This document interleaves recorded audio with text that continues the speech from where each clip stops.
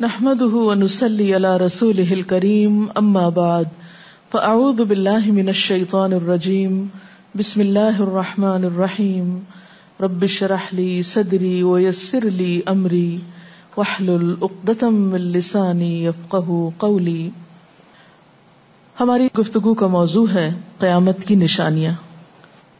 بحثیت مسلمان ہم سب کا ایمان ہے کہ یہ دنیا ہمیشہ باقی نہیں رہے گی۔ ایک دن سب کچھ ختم ہو جائے گا۔ اور ایسا ہونا بھی چاہیے۔ اس لیے کہ ہر آغاز کا ایک انجام ہوتا ہے۔ ہر ابتدا کی ایک انتہا ہوتی ہے۔ جس چیز پر زندگی آتی ہے، اس پر موت کا آنا بھی لازم ہے۔ ہم اپنے آس پاس اس کی بہت سی نشانیاں دیکھتے رہتے ہیں۔ کائنات میں بہت سے دلائل بکھرے ہوئے ہیں جو ہمیں یقین دلاتے ہیں کہ ایک دن یہ سب کارخانہ بند ہو جائے گا، ختم ہو جائے گا، یہ دنیا فنا ہو جائے گی۔ وہ وقت قرآن پاک کے الفاظ میں زمین و آسمان پر بہت بھاری ہوگا۔ اور اس بھاری وقت کے آنے سے پہلے دنیا میں کچھ علامات نمودار ہوں گی۔ تو آج چند ایک احادیث آپ کی خدمت میں پیش کروں گی جو قیامت کی نشانیوں کے بارے میں ہے اس سے ایک تو ہمیں اپنے عمل کا جائزہ لینے کا موقع ملے گا۔ دوسرے ان سے یہ بات سامنے آتی ہے کہ نبی صلی اللہ علیہ وسلم کی باتیں کتنی سچی باتیں تھی وہ لوگ جو حدیث کا انکار کرتے ہیں یا احادیث کا مذاق اڑاتے ہیں، وہ ان احادیث کی روشنی میں آج کے حالات کو دیکھ سکتے ہیں۔ کہ آپ صلی اللہ علیہ وسلم نے اللہ تعالی کی بھیجی ہوئی واہی کی روشنی میں جو باتیں فرمائی آج وہ ہم اپنی آنکھوں سے دیکھ رہے ہیں۔ بہرحال، اس وقت میرے سامنے حضرت ابو حرار رضی اللہ تعالی عنہ کی حدیث ہے، جسے ابن خزیمہ نے روایت کیا ہے۔ رسول اللہ صلی اللہ علیہ وسلم نے فرمایا، قیامت کی نشانیوں میں سے ہے کہ آدمی مسجد کے پاس سے گزرے گا مگر اس میں دو رکتیں ادا نہیں کرے گا۔ آج کتنے ہی لوگ ایسے ہیں کہ جن کے گھروں کے سامنے مسجدیں ہیں۔ وہ دن رات مسجدوں سے آوازیں سنتے ہیں لیکن مسجد کے اندر نہیں جاتے۔ نبی صلی اللہ علیہ وسلم کے زمانے میں اس بات کا تصور ہی نہیں تھا کہ کوئی شخص اپنے آپ کو مسلمان کہے اور پھر وہ نماز نہ پڑھے۔ اسی لیے ہم دیکھتے ہیں کہ منافقین ہر حال میں مسجد میں پہنچتے تھے۔ بلکہ انہوں نے اپنی ایک الگ مسجد بھی بنائی تھی، یا مسجد نامی عمارت بنائی تھی۔ لیکن قیامت کے نزدیک مسجدوں کے پاس سے گزرنے والے مسجد نہیں جائیں گے۔ ایک اور حدیث میں آتا ہے، حضرت انس فرماتے ہیں رضی اللہ تعالی عنہ کہ اللہ کے رسول صلی اللہ علیہ وسلم نے فرمایا، لوگوں پر ایک ایسا دور آئے گا کہ ان میں اپنے دین کی حفاظت پہ صبر کرنے والا اس شخص کی مانند ہوگا جو آگ کے انگارے کو اپنی مٹھی میں تھامنے والا ہے۔ یعنی دین پر استقامت اور دین پر عمل اتنا مشکل ہو جائے گا بعض اوقات کے جیسے ایک انگارہ ہاتھ میں لینا کہ انسان نہ لے سکے اور نہ پھینک سکے۔ ایک اور نشانی جو آپ صلی اللہ علیہ وسلم نے ہمیں بتائی وہ یہ کہ زمانہ قریب آ جائے گا۔ عمل میں نقص واقع ہوگا اور بخیلی پیدا ہو جائے گی، دل تنگ ہو جائیں گے۔ ایک اور حدیث میں آتا ہے کہ بخیلی کا عام ہونا قیامت کی نشانیوں میں سے ہے۔ آج آپ دیکھیں کہ بسا اوقات انسان کے پاس اللہ کی دی ہوئی بے شمار نعمتیں ہوتی، لیکن انسان ان نعمتوں میں کسی کو شریک نہیں کرتا۔ چھوٹی چھوٹی باتوں کو مائنڈ کر جانا، چھوٹی چھوٹی باتوں پہ ناراض ہو جانا، چھوٹی چھوٹی چیزوں کو حد سے زیادہ محسوس کر لینا یہ سب کچھ شہ کی وجہ ہی سے تو ہے، بخل کی وجہ سے ہی تو ہے۔ بخل صرف مال میں نہیں ہوتا۔ بخل تمام نعمتوں میں ہوتا ہے، اگر ان میں اللہ کے دوسرے بندوں کو بطور شکر کے شریک نہ کیا جائے۔ ایک اور حدیث میں آتا ہے۔ مجموع زوائد میں یہ حدیث روایت ہوئی ہے۔ رسول اللہ صلی اللہ علیہ وسلم نے فرمایا کہ لوگ سخت اور بخیل ہو جائیں گے یعنی ان کے دل سخت ہو جائیں گے اور ان کے اندر بخل عام ہو جائے گا۔ ایک اور نشانی قیامت کی آپ صلی اللہ علیہ وسلم نے یہ بتائی کہ مساجد میں زیب و زینت بہت ہوگی۔ یعنی نمازی تو کم ہوں گے، لیکن مسجدیں سجائی بہت جائیں گی۔ حضرت انس بن مالک کی روایت ہے مسند احمد نے اس کو روایت کیا ہے۔ رسول اللہ صلی اللہ علیہ وسلم نے فرمایا، قیامت قائم نہیں ہوگی، یہاں تک کہ لوگ مسجدوں میں فخر و مباحت کریں گے۔ یعنی مسجد کے بنانے میں، اس کے سجانے میں، اس کی آرائش میں ایک دوسرے کا مقابلہ کرنے لگیں گے۔ ایک اور حدیث میں آتا ہے کہ قیامت کی علامات میں سے ہے کہ لوگ مسجدوں کو سجایا کریں گے۔ یعنی اللہ تعالیٰ کو نماز پڑھ کے خوش کرنے کی بجائے مسجد بنا کے سجا کے خوش کرنے کی کوشش ہوگی۔ حضرت ابو دردا سے روایت ہے کہ جب تم لوگ مسجدوں کو سجانے لگو، قرآن کو مزین کرنے لگو، تو تمہاری بربادی ہے۔ کیونکہ قرآن پاک پڑھنے کے لیے آئے، محض سجانے کے لیے نہیں۔ آج آپ دیکھیں کہ بسا اوقات ہم اسے پڑھتے کم ہیں، سمجھتے کم ہیں، اس کے مطابق زندگی نہیں بسر کرتے، لیکن خوبصورت انداز میں، سنہری الفاظ میں لکھوا کر گھروں میں سجا دیتے ہیں۔ تو قرآن پاک سجانے کے لیے نہیں آیا، وہ تو ہدل للناس ہے، ساری انسانیت کی ہدایت کے لیے آیا ہے۔ لیکن ہم نے اس کا بس اتنا ہی فائدہ اٹھایا کہ اسے خوبصورت انداز میں لکھ کے تاکوں میں سجا دیا۔ اسی طرح ایک اور نشانی کہ انسان حلال حرام کی پرواہ نہیں کرے گا۔ رسول اللہ صلی اللہ علیہ وسلم نے فرمایا، صحیح بخاری کی روایت ہے لوگوں پہ ایسا وقت ضرور آنے والا ہے کہ آدمی اس بات کی بالکل فکر نہیں کرے گا کہ جو مال اس نے حاصل کیا ہے وہ حلال ہے یا حرام ہے یعنی کس ذریعے سے حاصل کیا ہے۔ ایک اور حدیث میں آتا ہے کہ قیامت سے پہلے سود پھیل جائے گا۔ ایک اور روایت میں آتا ہے کہ ہر شخص تک اس کا کچھ نہ کچھ غبار پہنچے گا۔ یعنی کچھ لوگ تو براہ راست اس میں انوالو ہوں گے اور کچھ لوگ انڈائریکٹلی اس سے متاثر ہوں گے۔ اسی طرح قیامت کی نشانیوں میں سے ایک اور نشانی دیگر امتوں کی مشابہت اور تقلید ہوگی۔ حضرت ابو سعید رضی اللہ تعالیٰ عنہ سے روایت ہے، رسول اللہ صلی اللہ علیہ وسلم نے فرمایا، تم اپنی سابقہ امتوں کی ایک ایک بالشت اور ایک ایک گز میں اتباع کرو گے۔ یعنی چھوٹے سے چھوٹے معاملے میں اور بڑے سے بڑے معاملے میں ان کی پیروی کرو گے۔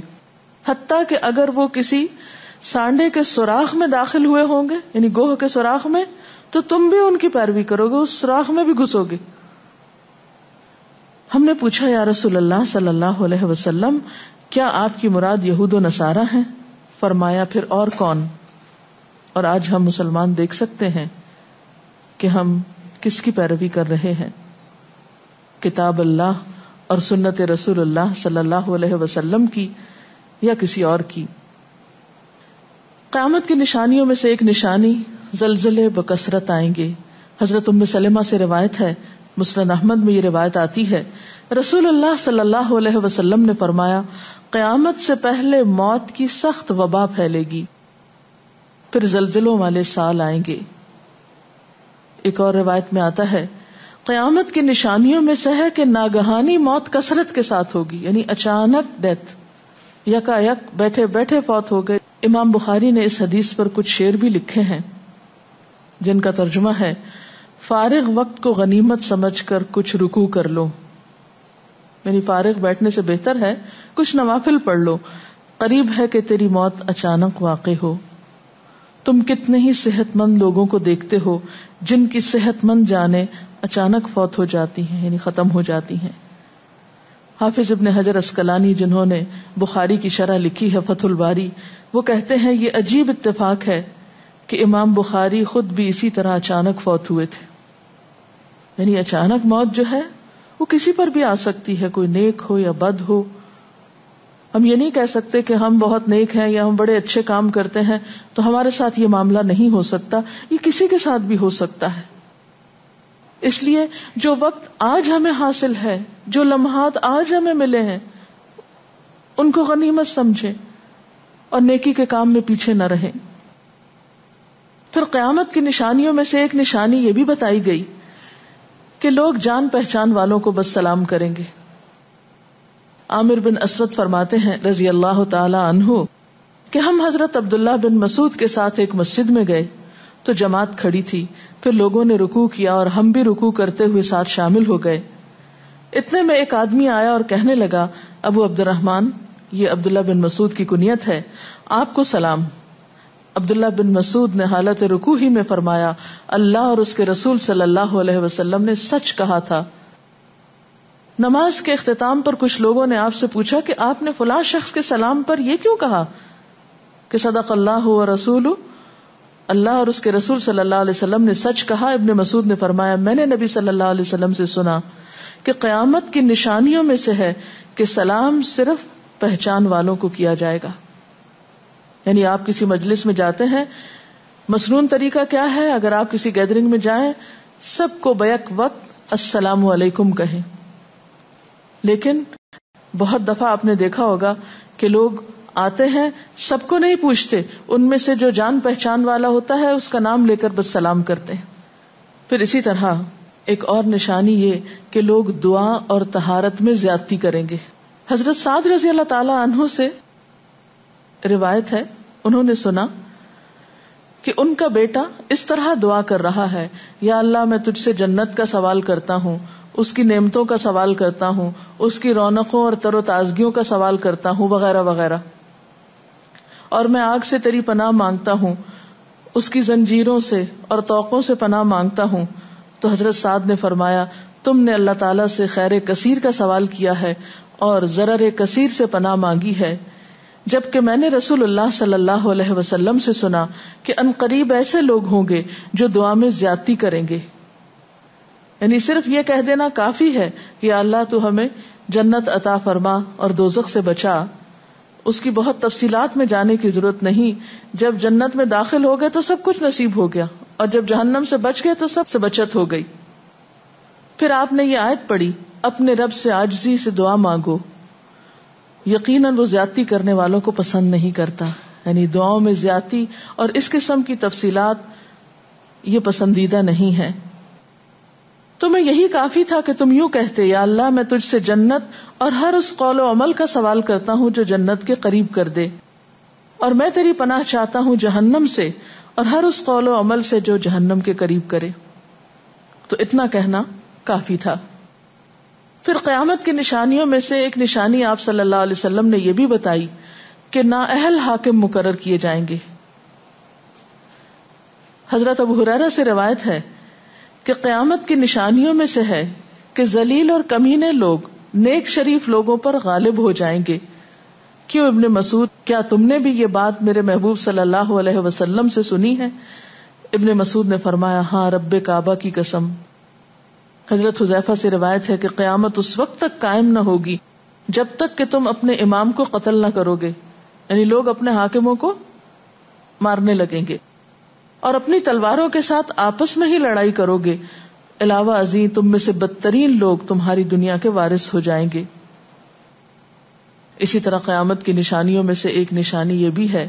حضرت عبداللہ بن مسعود سے مروی ہے کہ رسول اللہ صلی اللہ علیہ وسلم نے فرمایا، قیامت کے قریب صرف مخصوص لوگوں کو سلام کیا جائے گا۔ تجارت اس قدر پھیل جائے گی کہ عورت تجارت میں اپنے خامن کا ہاتھ بٹائے گی۔ یعنی اتنا بزنس ہوگا کہ مرد سے اکیلے نہیں سنبھالا جائے گا، عورتیں اس میں شریک ہوں گی رشتے داری توڑی جائے گی۔ یعنی مال کثرت سے ہونے کے باوجود رشتے داروں کا خیال نہیں رکھا جائے گا۔ جھوٹی گواہی دی جائے گی، حق چھپایا جائے گا اور قلم کا ظہور ہو جائے گا۔ یعنی نشر و اشاعت خوب ہوگی، خوب لکھا جائے گا۔ ایک اور روایت میں آتا ہے کہ وقت مختصر ہو جائے گا۔ آج آپ دیکھیے ہر شخص وقت کی کمی کی شکایت کرتا ہے۔ حضرت ابو رضی اللہ تعالیٰ عنہ سے روایت ہے، رسول اللہ صلی اللہ علیہ وسلم نے فرمایا، قیامت قائم ہونے سے پہلے یہ نشانی ظاہر ہوگی کہ زمانہ قریب آ جائے گا یا تقارب الزمان۔ سال مہینے کی طرح، مہینہ ہفتے کی طرح، ہفتہ دن کی طرح، اور ایک دن ایک گھنٹے کی طرح، اور ایک گھنٹہ آگ کے شولے کی طرح تیزی سے گزرنے والا ہو جائے گا۔ اور آج آپ دیکھیے کہ اللہ کے رسول صلی اللہ علیہ وسلم کی یہ بات کتنی سچ معلوم ہوتی ہے کہ ہر شخص وقت کی کمی کا شکار ہے اور پتہ ہی نہیں چلتا ہفتہ گزر گیا، پتہ ہی نہیں چلتا مہینہ گزر گیا، پتہ ہی نہیں چلتا سال گزر گیا پتہ ہی نہیں چلتا اتنی عمر گزر گئی۔ کل کی بات لگتی ہے۔ اور انڈائریکٹلی یہ اشارہ اس بات کی طرف کہ زندگی کی رفتار بہت تیز ہو جائے گی یعنی فاسٹ لائف جس کو آپ کہتے ہیں اس کا شکار ہو جائے گا۔ ایک اور روایت میں آتا ہے کہ دنیا محبوب ہو جائے گی، موت سے نفرت ہو جائے گی۔ حضرت ابو حرا سے روایت رسول اللہ صلی اللہ علیہ وسلم نے حضرت صوبان سے فرمایا، اے صوبان، اس وقت تمہارا کیا حال ہوگا؟ جب دوسری امتیں تم پر اس طرح ٹوٹ پڑیں گی، جس طرح تم کھانے کے برتن پہ ٹوٹ پڑتے ہو۔ صوبان نے کہا، میرے ماں باپ، آپ پہ قربان، اے اللہ کے رسول صلی اللہ علیہ وسلم کیا اس وقت ہم تعداد میں کم ہو جائیں گے؟ فرمایا نہیں، بلکہ تم کثرت میں ہوگے، لیکن اللہ تعالیٰ تمہارے دلوں میں وہن ڈال دے گا۔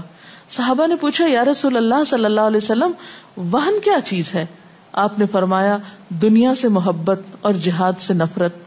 اور ایک روایت میں آتا ہے، دنیا سے محبت اور موت سے نفرت۔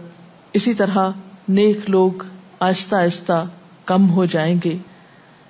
رسول اللہ صلی اللہ علیہ وسلم نے فرمایا، نیک لوگ یکے بعد دیگرے رخصت ہوتے جائیں گے، فوت ہوتے جائیں گے، فضول لوگ باقی رہ جائیں گے، بیکار نکم میں جس طرح جو کا بھوسا یا ردی کھجور باقی رہ جاتی۔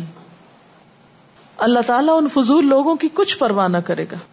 یعنی کوڑے کرکٹ کی طرح ہوں گے جن کی کچھ پرواہ نہ کرے گا کہ ان کو پھینک دیا جائے یا کاٹ دیا جائے یا کہیں جلا دیا جائے۔ ایسے لوگوں کی اللہ تعالیٰ کو کچھ بھی ضرورت نہیں ہو حضرت امر بن شعیب اپنے والد سے اور اپنے دادا سے روایت کرتے ہیں۔ رسول اللہ صلی اللہ علیہ وسلم نے فرمایا، لوگوں پر ایک ایسا وقت آئے گا کہ ان کی خوب چھانٹی صفائی کی جائے گی۔ تو فضول لوگ باقی رہ جائیں گے اور نیک لوگ ختم ہو جائیں گے۔ پھر آپ نے اپنے دونوں ہاتھوں کی انگلیوں کو آپس میں ملا کر فرمایا، اس طرح ان کے وعدے اور امانتیں خلط ملت ہو کر رہ جائیں گے اور وہ اختلافات کا شکار ہو جائیں گے۔ یعنی نہ ان میں وعدوں کا پاس ہوگا، نہ امانتوں کی ادائیگی کا احساس ہوگا۔ اور وہ ایک ہی چیز جانیں گے اور وہ لڑائی جھگڑا۔ اختلافات۔ کیونکہ کوڑا کرکٹ ہے نا، کوئی وزن تو اس کا ہے نہیں، کوئی اصول تو ہے نہیں۔ کسی نیک کام میں استقامت تو ہے نہیں۔ بس جدھر کو پانی جا رہا ہے، اس پہ بہ رہے ہیں، ہوا چل رہی ہے، اس پہ اڑ رہے ہیں۔ تو ایسے نکمے اور بیکار لوگ باقی بچیں گے۔ اور پھر ایک دن دنیا اپنے اختتام کو پہنچ جائے گی۔ ہر گھر میں فتنہ داخل ہو جائے گا۔ حضرت بن مالک فرماتے ہیں کہ میں غزوہ تبوک کے موقع پر رسول اللہ صلی اللہ علیہ وسلم کی خدمت میں حاضر ہوا، جبکہ آپ اس وقت چمڑے کے ایک خیمے میں تشریف فرما تھے۔ آپ نے فرمایا، قیام قیامت کی چھ نشانیاں گن لو۔ پھر ایک ایسا عام اور تباہ کن فتنا ہوگا کہ عرب کا کوئی گھر بھی اس کی لپیٹ میں آنے سے محفوظ نہ رہ سکے گا۔ تو اللہ تعالیٰ سے دعا ہے کہ وہ ہمارے ایمان اور عمل کی حفاظت فرمائے اور ہمیں نیکی کی توفیق عطا فرمائے، اپنی ذمہ داریوں کو صحیح معنوں میں پورا کرنے کی توفیق عطا فرمائے۔ اگر آپ کے ذہن میں کوئی سوال ہو تو آپ کر سکتے ہیں۔ جو لوگ قیامت کی ان علامات کا مذاق اڑاتے ہیں اور کہتے ہیں کہ یہ حالات تو بہت عرصے سے ہیں، قیامت آنی ہوتی تو آ چکی ہوتی، تو ہم کیا کر سکتے ہیں؟ انہیں کیسے سمجھا سکتے ہیں؟ دیکھیے کہ جو لوگ مذاق اڑانے پر تل جاتے ہیں، ان کا کوئی علاج نہیں۔ نبی صلی اللہ علیہ وسلم کے زمانے میں بھی ایسے لوگ موجود تھے جو دین کے شاعر کا مذاق اڑاتے تھے۔ قرآن نے ایسے لوگوں کو منافق بتایا ہے۔ اور بات یہ ہے کہ جب قیامت آئے گی تو پھر کسی سے پوچھ کر نہیں آئے گی۔ اس کا وقت تو اللہ تعالیٰ کو معلوم ہے۔ اور جب آ جائے گی تو کوئی اس سے فرار حاصل نہیں کر سکے گا۔ آج ہمیں اللہ تعالیٰ نے اختیار دیا ہے۔ چاہے تو کسی چیز کو مانے اور چاہے تو انکار کر دیں لیکن جب اصل حقیقت سامنے آئے گی تو پھر ہم انکار نہ کر سکیں گے۔ آپ نے بتایا کہ قیامت کی نشانیوں میں ہے کہ تہارت میں بھی زیادتی کی جائے گی تو اس سے کیا مراد ہے؟ اس کا معنی یہ ہے کہ لوگ تہارت حاصل کرتے وقت وسائل یا ریسورسز کو بہت ضائع کریں گے۔ مثلاً یہ کہ وضو کرتے وقت بہت زیادہ پانی لنڈانا بہت صابن گرانا، اسی طرح نہاتے وقت بہت پانی ضائع کرنا۔ نبی صلی اللہ علیہ وسلم کے زمانے میں پانی کی قلت بھی ہوتی تھی، لیکن اس کے باوجود آپ صلی اللہ علیہ وسلم کی تعلیمات میں ہے یہ بات کہ ایک شخص کو آپ نے فرمایا تھا کہ خواہ تم دریا کے کنارے بیٹھے ہو، پھر بھی وضو کے لیے اتنا ہی پانی لو جتنا تمہاری ضرورت ہے یعنی بہت زیادہ پانی ضائع نہ کرو۔ آج ہم دیکھتے ہیں کہ بہت سے وسائل کے ذریعے پانی کا حصول بعض علاقوں میں بہت آسان ہو گیا ہے اور لوگ بہت ناقدری کے ساتھ پانی ضائع کرتے ہیں۔ مثلاً بعض دفعہ دیکھا گیا ہے کہ برش کرنے کے وقفے میں ٹیپ کھول دی جاتی ہے۔ بعض اوقات پانچ منٹ تک ٹیپ میں سے پانی بہتا رہتا ہے، بہتا رہتا ہے اور آرام آرام سے لوگ اپنی تہارت اور صفائی کا اہتمام کرتے رہتے ہیں۔ تو کسی بھی طرح کے وسائل کو ضائع کرنا جو ہے وہ اسلامی تعلیمات کے خلاف ہے۔ خواہ وہ دین کے کسی کام کے کرنے میں ہی کیوں نہ استعمال کیے جائے وسو جیسی چیز میں ہی کیوں نہ استعمال کیے جا رہے ہوں۔ تو تہارت میں مبالغہ آرائی کا مطلب یہی ہے، وسائل کا ضیاع۔ دعا میں زیادتی کا مقصد، کیا لمبی دعاؤں کا بھی مراد یہ ہوگا؟ اصل میں دعا تو حسب ضرورت کی جا سکتی ہے۔ حسب موقع کبھی آپ کے پاس وقت زیادہ ہوتا ہے تو آپ دیر تک بھی دعا کر سکتے ہیں۔ مخصوص اوقات میں، مخصوص قبولیت کی جگہوں پر۔ لیکن سنت کے طریقے سے ہٹ کر مبالغہ آرائی کے انداز میں دعا کرنا اور پھر ردیف کافی ملا کر دعا کرنا، یا شعر و شاعری کے انداز میں دعا کرنا ان چیزوں سے منع کیا گیا۔ ہے واخر دعوانا ان الحمد للہ رب العالمین۔ سبحانک اللہم و بحمدک، نشہد لا الہ الا انت، نستغفرک و نتوب الیک۔ والسلام علیکم ورحمۃ اللہ وبرکاتہ۔